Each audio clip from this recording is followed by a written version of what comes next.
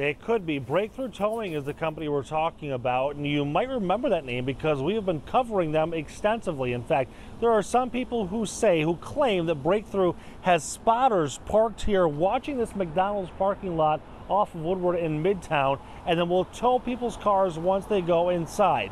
Now there's this class action lawsuit saying no more.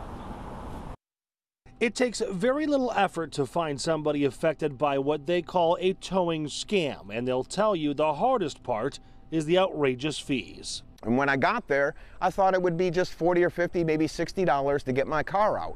And the young man told me it would be $395 to get my car that I legally parked at McDonald's as a customer. Drivers say Breakthrough Towing illegally towed them, hiring spotters to watch for people parking at this McDonald's in Midtown and other locations, towing them minutes after parking, and then charging in excess of $400 to get their car back. The Better Business Bureau, AAA, the City of Detroit, and the Attorney General's office has launched investigations. And now there's the latest challenge a class action lawsuit claiming Breakthrough Towing engages in illegal and rogue towing practices.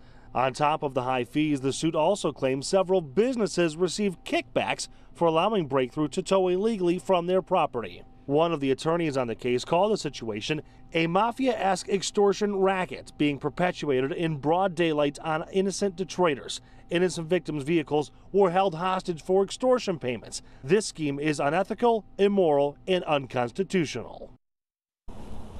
Now, this class action lawsuit has been filed in federal court. We haven't seen any dates for it just yet, but check back because we will certainly be following this story.